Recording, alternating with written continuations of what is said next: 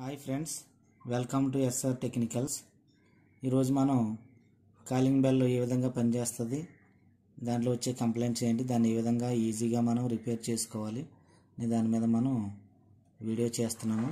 చూడండి ఫ్రెండ్స్ ఈ రెండు కూడా వ్యారెట్కి సంబంధించినటువంటి కాలింగ్ బెల్స్ ఇవి. ఇది ఆల్రెడీ ఓపెన్ చేసి ఉంచాను నేను. సరే చూడండి ఫ్రెండ్స్. దీంట్లో మనకి వచ్చేటప్పటికి వాట్స్ ఏమి పెద్దగా ఉండవు. ఇక్కడ ఉన్నటువంటి ఫీజిబుల్ రెసిస్టెన్స్ ఒకటి ఉంది. ఇక్కడేమో టూ కెపాసిటర్స్ ఉన్నాయి. రెండేమో పిఎఫ్లు కనిపిస్తున్నాయి మాకు. రెండు పిఎఫ్లు మూడేమో రెసిస్టర్లు ఇక్కడ చిన్న ట్రాన్స్ఫార్మర్ ఒకటి కనిపిస్తుంది. నెక్స్ట్ ఇక్కడికి వచ్చేటప్పటికి eight zero five zero eight zero five zero NPN transistor ఇది. Eight zero five zero NPN transistor ఉంది. దీని సర్క్యూట్ కూడా చాలా సింపుల్గా ఈజీగా ఉంటుంది అనమాట ఇక్కడ స్పీకర్ కనెక్షన్స్ వచ్చేసి దీనికి ట్రాన్స్ఫార్మర్ ఉంటాయి అన్నమాట రెండు వైర్లు కూడా ఈ స్పీకర్ కనెక్షన్లో. ఈ ట్రాన్స్ఫార్మర్ ఏదైతే ఉందో దానికి ఉంటాయి. ఇక ఏసీ కనెక్షన్ వచ్చేటప్పటికి ఒకటి ఫీజిబుల్ రెసిస్టెన్స్ దగ్గర ఒకటి ఇంకొకటి వచ్చేటప్పటికి న్యూట్రల్గా ఒకటి ఒక కనెక్షన్ అనేటువంటిది ఉంది ఇక్కడ.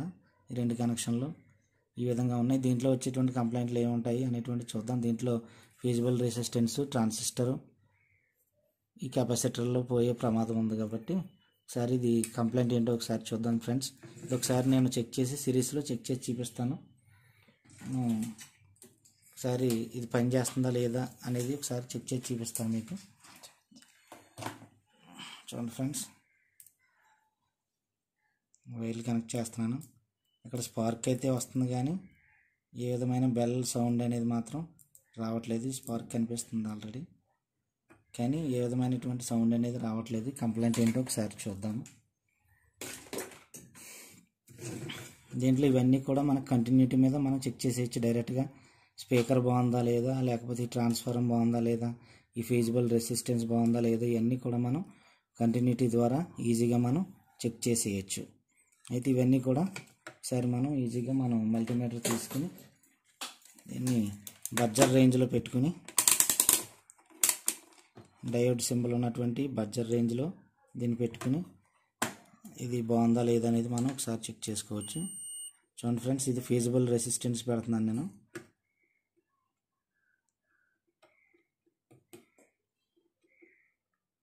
ఇది ఆల్రెడీ రీడింగ్ అనేది చూపిస్తుంది మనకి.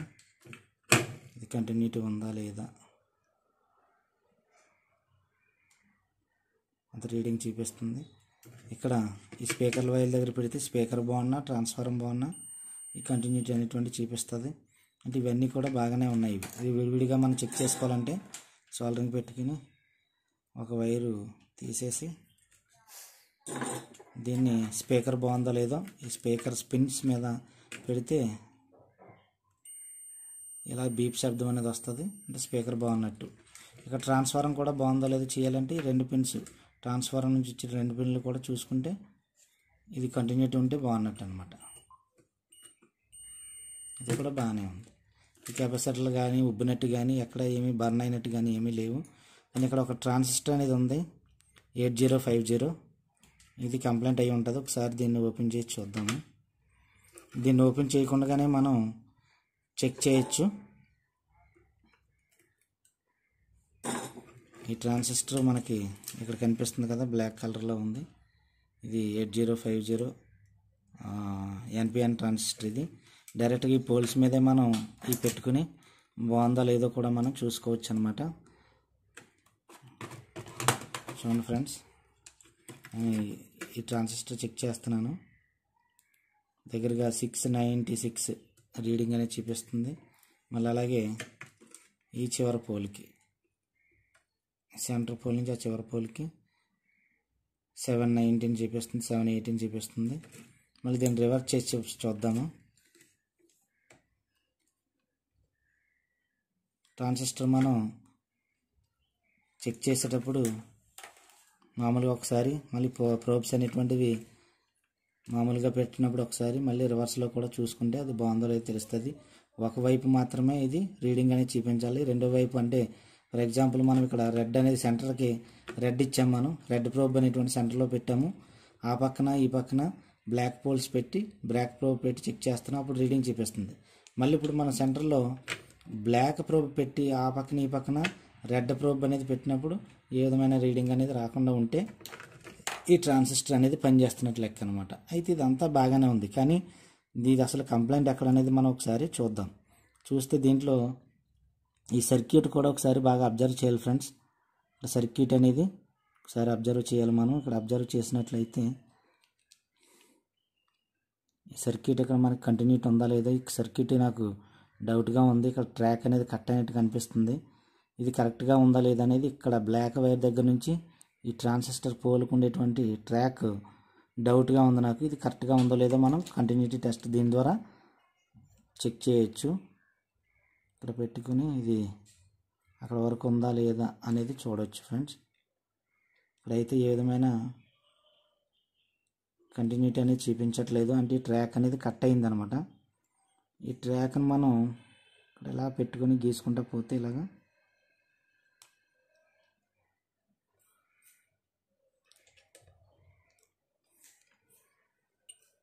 ఇక ఫ్రెండ్స్ ఇక్కడ కట్ అయింది. ఇది ట్రాక్ అనేది ఇక్కడ కట్ అయింది. అయితే దీని నుంచి దీనికి మనం డైరెక్ట్గా ఒక వైర్ అనేది సోల్డరింగ్ చేసుకుంటే సరిపోద్ది. ట్రాక్ మనం అతుక్కున్నా పర్వాలేదు. కాదంటే లేదంటే ఈ ట్రాక్ దగ్గర నుంచి మనం ఇలా ఉన్నటువంటి ట్రాక్ని మనం డైరెక్ట్గా దీనికి సోల్డరింగ్ చేసుకున్నా పర్వాలేదు. చూడండి ఫ్రెండ్స్ ఇక్కడ నుంచి వచ్చింది ఈ ట్రాక్ ఇలా ఉంది. ఇక్కడ కొద్దిగా బర్న్ అయ్యేది కాలిపోయింది అనమాట కనిపించట్లేదు ఇది మనకి. అయితే ఇక్కడ కట్ అయింది. దీనికి కనెక్షన్ రావట్లేదు. అంటే ఇక్కడ నుంచి మనం ఇక్కడ ఉన్నటువంటి వైర్కి డైరెక్ట్గా వైర్ ముక్క వేసుకుని మనం దీన్ని కలిపినట్లయితే ఇది వర్క్ చేస్తుంది అనమాట ఒకసారి అది చూద్దాం మన ఫ్రెండ్స్. ఒకసారి చిన్న వైర్ తీసుకుని నేను దీన్ని సాల్వింగ్ చేస్తాను. చిన్న వైర్ ముక్కటి తీసుకుని.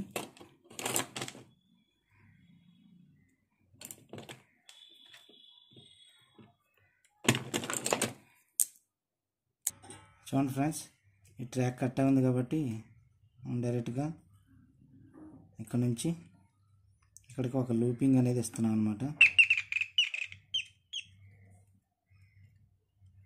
లూపింగ్ అనేది ఇచ్చాము. ట్రాక్ కట్ అయింది కాబట్టి ఇది లూపింగ్ ఇచ్చాము.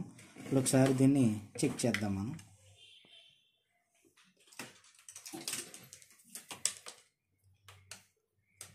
వేరుతోటి చెక్ చేసి చూపిస్తాం మీకు. చూడండి ఫ్రెండ్స్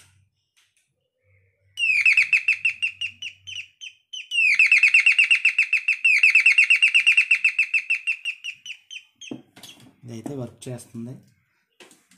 ఈ విధంగా మనం సింపుల్గా ఇటువంటి బ్యాలెన్ అనేటువంటిది మనం ఈజీగా మనం రిపేర్ చేయొచ్చు అనమాట ఇది కంప్లీట్ అయిపోయింది. ఇంకోటి మీకు చూపిస్తాను ఇంకో కంప్లైంట్ చూడండి ఫ్రెండ్స్ ఇక్కడ ఇంకోటి అటువంటిదే ఉంది. సర్క్యూట్ అనేది సేమే రెండిటికి కూడా. దీంట్లో కూడా ఫీజిబుల్ రెసిస్టెన్స్ రెండు కెపాసిటర్లు. ఇదిగో eight zero five zero transistor మూడు మూడులేమో రెసిస్టర్స్ ఉన్నాయి. ఒకటేమో డయోడ్ ఉంది. ఇక్కడ చిన్న ట్రాన్స్ఫార్మర్ ఈ ట్రాన్స్ఫార్మర్ దగ్గర రెండు కూడా స్పీకర్ కనెక్షన్ ఇది ఏమవుతుందంటే ఫ్రెండ్స్ కనెక్ట్ చేసినప్పుడు బాగా హీట్ ఎక్కిపోవడము సౌండ్ బాగా తక్కువలో రావడం అంటే షార్టేజ్ అనేది చూపిస్తుంది ఇది. ఒకసారి మీకు చెక్ చేసి చూపిస్తాను. ఫ్రెండ్స్ చూడండి ఇక్కడ లైట్గా వస్తుంది. ఇక్కడ స్పార్క్ అయితే వస్తుంది కానీ ఎప్పుడో ఒకసారి వినిపిస్తుంది ఇది. కంప్లైంట్ ఉందన్నమాట ఇది. కంప్లైంట్ ఏంటనేది ఒకసారి చూపిస్తాం. చూడండి ఫ్రెండ్స్ ఈ ఫీజిబుల్ రెసిస్ట్ అనేది షార్టేజ్ ఉంది. అందువల్ల ఇది బాగా హీట్ ఎక్కిపోతుంది అనమాట ఆల్రెడీ కొద్దిగా సౌండ్ వస్తుంది కాబట్టి ఈ సర్క్యూట్ అంతా బాగానే వర్క్ చేస్తుంది. స్పీకరు ట్రాన్స్ఫార్మరు ట్రాన్సిస్టర్ ఇవన్నీ బాగానే ఉన్నాయి.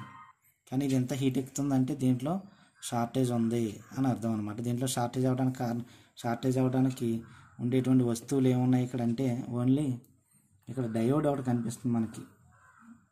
ఫోర్ థౌజండ్ సెవెన్ డయోడ్ ఒకటి ఉంది ఇక్కడ మనకి.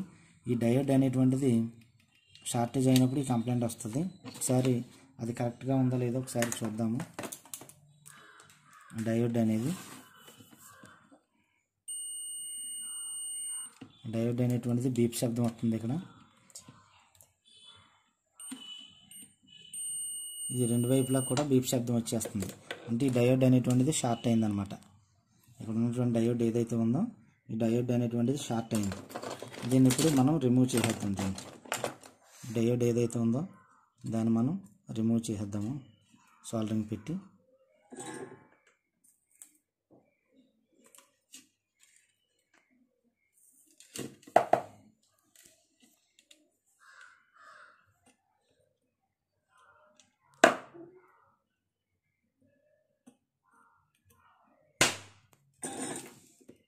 చూడండి ఫ్రెండ్స్. ఈ డయోడ్ అనేటువంటిది నేను రిమూవ్ చేశాను. ఇది ఎలా ఉందో ఒకసారి చెక్ చేద్దాము. ఇది కంటిన్యూటీ చూపిస్తుంది. ఇంకొక వైపు చూస్తే ఇది కూడా ఇటు కంటిన్యూ చూపిస్తుంది. ఫ్రెండ్స్ ఇది షార్ట్ అయిపోయింది ఇది. ఒకవైపు మాత్రమే మనకు చూపించాలి ఇది. రెండు పక్కల చూపిస్తుంది అంటే ఇది షార్ట్ అయిపోయింది అనమాట దీని ద్వారానే బెల్ అనేటువంటిది మనకి పని చేయట్లేదు ఇటువంటిదే మనం ఇంకోటి తీసుకున్నాం ఫోర్ థౌజండ్ సెవెన్ డయోడ్ ఇది. ఇది ఒకవైపు మాత్రమే రీడింగ్ చూపించాలి వేరే వైపు నుంచి మాత్రం అసలు కంటిన్యూటీ అనేది చూపించకూడదు. చూడండి ఫ్రెండ్స్ మీటర్లో మనం చూస్తున్నాము. ఇక్కడ కలిపినా కానీ ఏ విధమైనటువంటి నెంబర్స్ అనేటువంటిది రావట్లేదు దాంట్లో. ఇది తిప్పినప్పుడు మాత్రమే ఆ నెంబర్స్ వస్తాయి. అలా తిప్పని చూడడానికి నెంబర్స్ అనేది కంటిన్యూటీ అనేది చూపిస్తుంది. డయోడ్ అనేది ఈ విధంగా పనిచేయాలి. కానీ అది ఏమైందంటే షార్ట్ అయిపోయింది. ఇప్పుడు దీన్ని మనం ఎక్కడున్న ప్లేస్లో ప్లేస్లో మనం మళ్ళా ఇన్స్టాల్ చేద్దాము. దీంట్లో మనం ఎక్కడైతే తీసామో ఆ ప్లేస్లో మళ్ళీ ఇన్సర్ట్ చేద్దాము దీంట్లో ఈ పక్కనే మైనస్ సింబల్ అనేది కనిపిస్తుంది మనకి. మైనస్ సింబల్ ఉన్న వైపు ఈ బ్లాక్ కలర్ వేయాలి ఈ వైట్ కలర్ ఉన్నది దానికి ఆపోజిట్లో వేయాలి ఆల్రెడీ మన పాత ఎలాగైతే మనం సర్క్యూట్లోంచి తీసామో. అదేవిధంగా వేసేటప్పుడు మనం జాగ్రత్తగా పాజిటివ్ నెగిటివ్ అనేది దానికి జాగ్రత్తగా చూసుకోవాలి మనం. చూడండి ఫ్రెండ్స్. దీన్ని పేస్ట్ అప్లై చేసి దీన్ని సాల్డరింగ్ చేసేద్దాం మనం.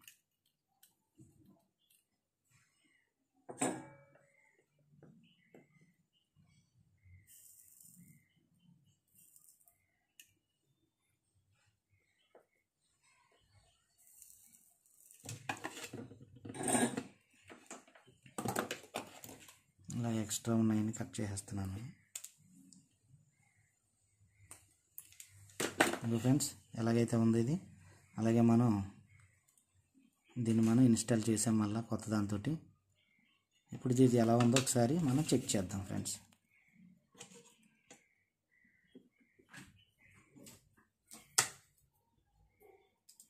వైర్లు తీసుకుని కంటిన్యూటీ దాంట్లో చెక్ చేసి చూపిస్తాను మీకు. చూడండి ఫ్రెండ్స్ చూడండి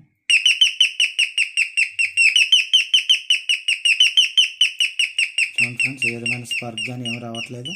డైరెక్ట్గా ఇలా పెట్టిన వెంటనే మనకి సౌండ్ అనేది ఈజీగా వస్తుంది. ఈ విధంగా మనం బెల్ అనేటువంటిది పాడైనప్పటికీ కూడా ఈజీగా మనం దాన్ని మనం చేసుకోవచ్చు. దీంట్లో పాడేవి కూడా పెద్దగా వస్తువులు ఏమి ఉండవు. సర్క్యూట్ జాగ్రత్తగా చూసుకుని స్పీకర్ పనిచేస్తుందా లేదా దీంట్లో eight zero five zero transistor ఒకటి ఉంది. NPN transistor. దాన్ని మనం ఒకవేళ పాడైతే రీప్లేస్ చేసుకోవడం. ఇలాగ డయోడ్లు ఏమైనా పోయినాయేమో చూసుకుంటే ఈజీగా మనం ఇంట్లోనే మన యొక్క బెల్ని మనం రిపేర్ చేసుకోవచ్చు ఫ్రెండ్స్. ఈ వీడియో మీకు బాగా అర్థమైంది అనుకుంటున్నాను. ఈ వీడియో మీకు నచ్చినట్లయితే షేర్ చేయండి లైక్ చేయండి. మా ఛానల్ని సబ్స్క్రైబ్ చేయడం మాత్రం మర్చిపోకండి. Thank you friends.